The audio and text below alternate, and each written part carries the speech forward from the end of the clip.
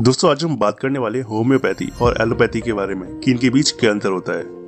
दोस्तों, दुनिया भर में कई चिकित्सा पद्धति हैं, जैसे एलोपैथी, होम्योपैथी, आयुर्वेद, यूनानी, और ये इंसान का इलाज करने में काफ़ी कारगर भी हैं।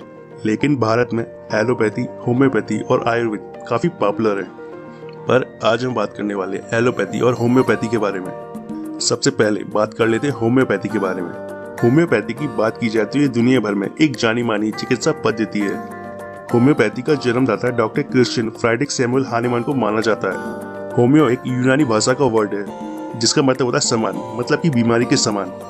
इस थेरेपी में जो दवा दी जाती है, वो उन्हीं रोगों के समान होती है। मतलब कि ये दवाएँ उन बीमारियों को दूर करती है, जिन्हें वे पैदा कर सकती हैं। इस थेरेपी में मरीज़ की मेंटल और फ़िज़िकल कंडीशन की जाँच करके ही उसे उसके अनुसार दवा दी जाती है, जिससे वो बीमारी जड़ से खत्म हो जाती है।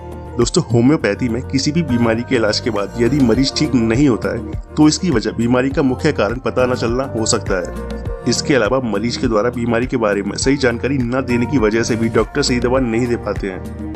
ऐसे में मरीज़ को उस दवा से कुछ समय के लिए राहत मिल जाती है, लेकिन बाद में इससे कुछ नुकसान हो सकते हैं। और इसके अलावा होम्योपैथी का इलाज एलोपैथी के मुकाबले लंबा चलता है।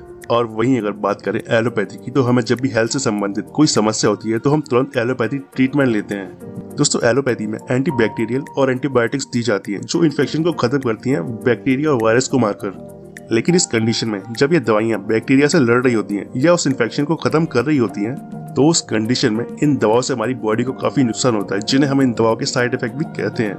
अगर आपका इलाज लंबा चलता है तो इससे आपको फ़ायदा तो होगा, लेकिन साथ ही साथ कुछ नुकसान भी होंगे। दोस्तों, एलोपैथी से बीमारी को सिर्फ़ संभाला जा सकता है। ये कभी बीमारी को जड़ से खत्म नहीं करती है, क्योंकि मुख्य रूप से इसमें सिम्टम्स यानी कि बीमारी के लक्षण का इलाज किया जाता है। दोस्तों, ये बात तो आप सभी जानते होंगे कि ब्लड प्रेशर दमा डायबिटीज़ यहाँ तक कि जुकाम का एलोपैथी में इलाज नहीं है। ये सिर्फ़ इन्हें कंट्रोल में रख सकती है। दोस्तों, एलोपैथी के फ़ायदे हैं तो नुकसान भी हैं। जैसे अगर आपको कोई बड़ी बीमारी है और आपके पास टाइम नहीं है तो आपके लिए एलोपैथिक ट्रीटमेंट अच्छा रहेगा, क्योंकि इसमें जल्दी आराम मिलता है। लेकिन होम्योपैथी में थोड़ा समय लगता है और इसका इलाज भी लंबा चलता है, लेकिन होम्योपैथी में बीमारी जड़ से खत्म होती है। दोस्तों, ये बात सच है कि अगर आप एलोपैथी ट्रीटमेंट काफ़ी लंबा लेते हैं तो आपको उसके साइड इफ़ेक्ट होंगे ही होंगे। और ज़रूरी नहीं है कि आपको इन दवाइयों से सिर्फ़ एक ही समस्या हो, आपको कई सारी समस्या हो सकती है।